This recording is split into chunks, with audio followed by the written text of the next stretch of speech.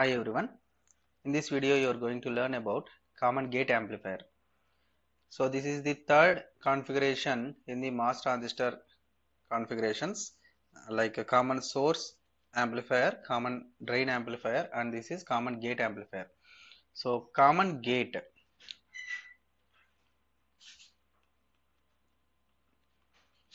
common gate amplifier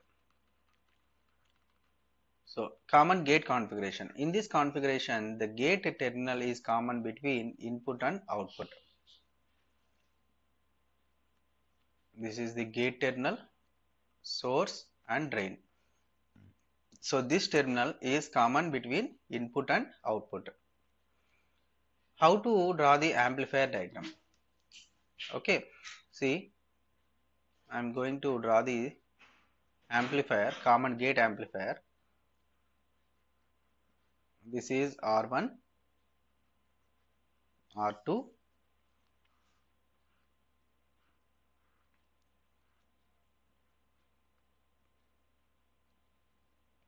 gate is common and input is applied at source terminal. Input is applied at the source terminal and output is taken from the drain terminal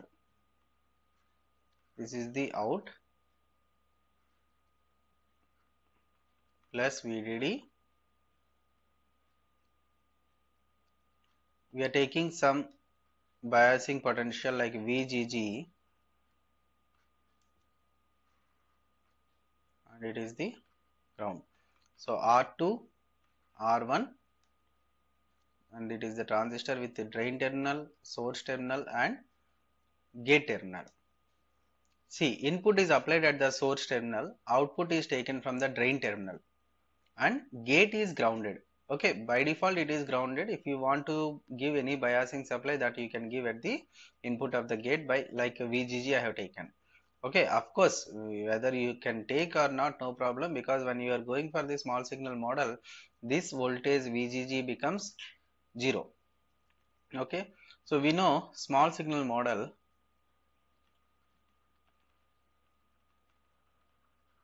small signal model. So in small signal AC analysis what we will do? So first point all the capacitors all the capacitors all the capacitors means including coupling capacitors and bypass capacitors should be short circuited all the capacitors should be short circuited and all the voltage sources DC voltage sources. All the DC voltage sources should be grounded. Okay so with these assumptions I am just redrawing the circuit. R1 R2 as VGG is a DC source make it to ground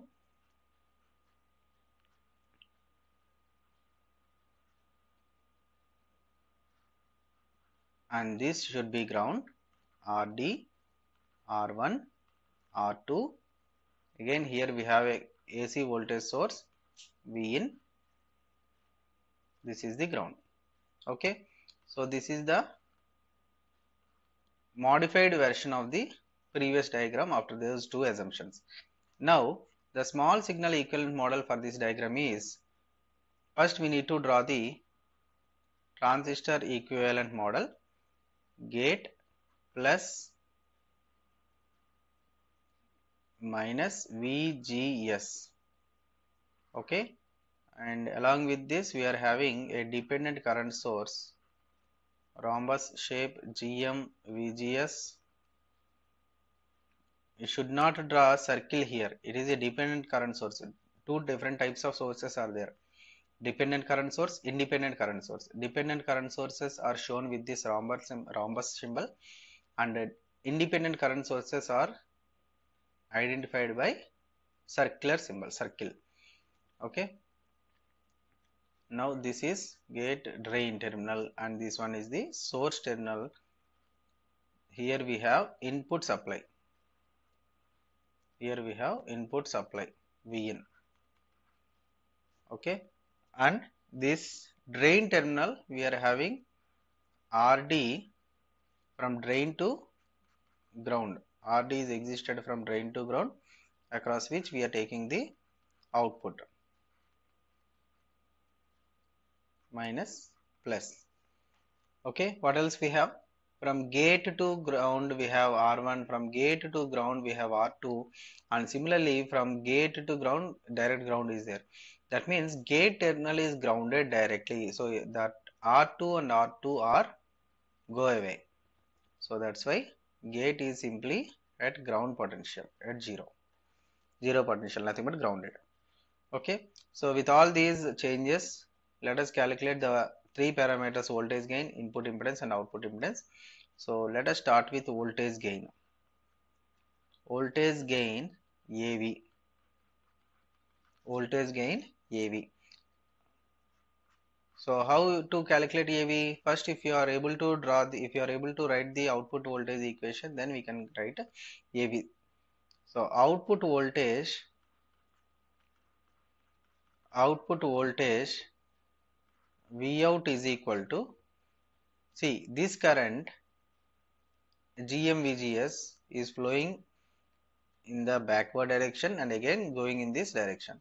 So that's why V out is equal to minus GM VGS into RD minus GM VGS into RD. What is VGS in terms of V in? Okay, see, see this clearly. I am taking a different color to indicate.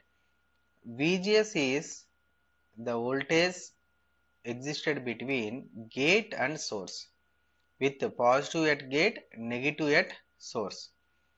And Vin is the voltage that is existed between source and source and ground. Positive with source negative with ground. VGS is positive with ground because gate is at the ground positive with ground and negative with source. See exactly these two are in opposite polarities. We can take the measure of something like VGS here VGS minus and plus. Okay so these two are equal these two are equal with opposite polarities. So we can write it as we can write it as from circuit V in is equal to minus VGS that implies VGS equal to minus V in.